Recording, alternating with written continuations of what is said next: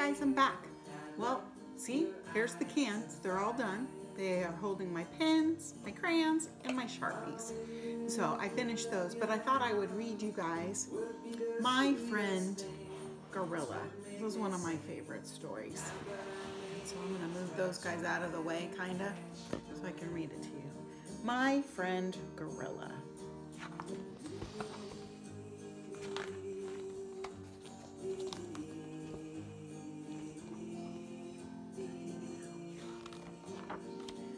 My friend Gorilla. He's following the dad. Oh no, look, the zoo's closed. Kind of like right now where the zoos are closed. You ever wonder what all the animals are doing if the zoo is closed? Well, this is a story about what happens with one of the animals, the gorilla, when the zoo's closed. And he's going, come on guys, let's go.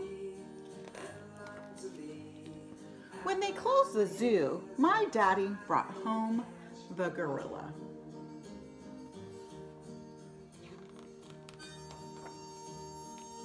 He was big.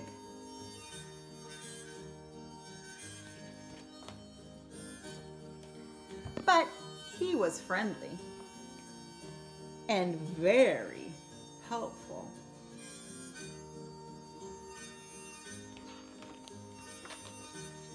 I liked him. Playing on the swing set.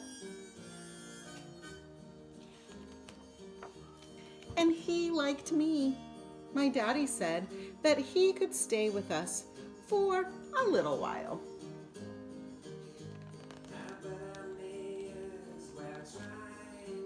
He was my friend.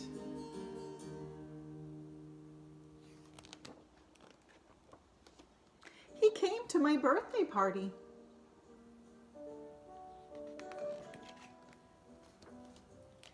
Stayed through the fall.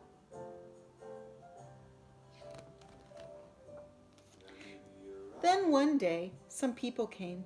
They said my gorilla used to live in Africa and he would be happier there. They said they would come back another day and take him home.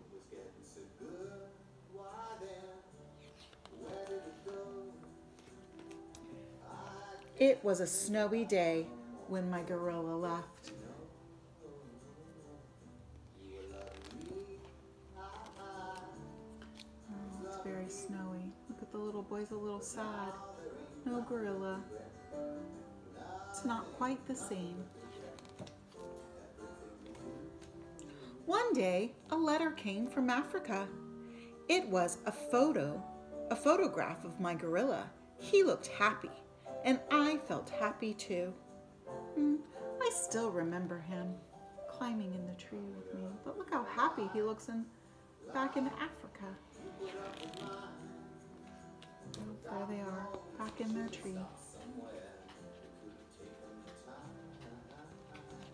All right, guys, I'm going to say goodbye, and I'll talk to you again soon.